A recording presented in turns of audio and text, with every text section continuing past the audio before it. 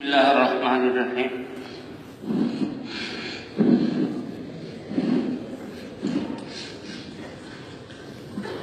كل نفس ذائقة الموت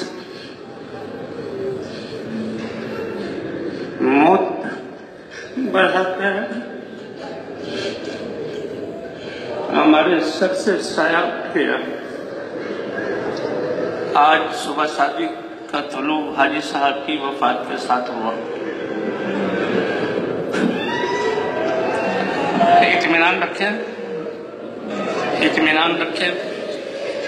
یہ اللہ کی تقدیر ہے۔ سب دعا پڑھ لیں۔ سب دعا پڑھ لیں۔ اللہم اجرنی فی مصیبتی هذه واخلف لی خیرا منها اللہم لا تحرمنا اجرہ ولا تفتننا بعده آواز سے رونا نہ ہو۔ آواز سے رونا نہ ہو۔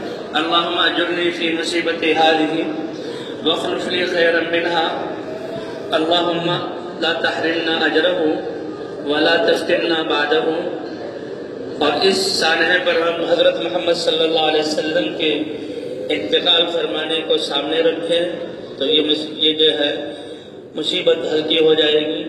اللہ کی طرف متوجہ رہیں۔ حاجی صاحب نے جس جو راستہ ہمیں دکھایا، جو محنت دی اور جس محنت کے لیے حاجی صاحب نے سب کچھ قربان کیا، اللہ ہمیں ان کی اتباع کی توفیق عطا فرمائے۔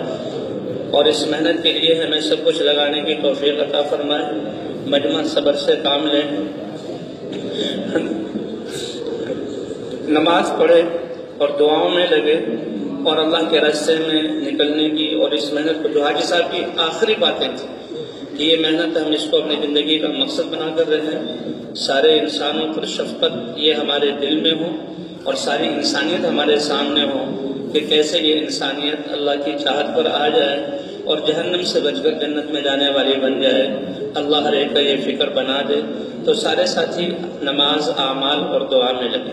میں دعا عرض کر دیتا ہوں، اللہم اجرنی فی مصیبتی حالی وخلف لی خیرا منها اللہم لا تحرمنا اجرہ۔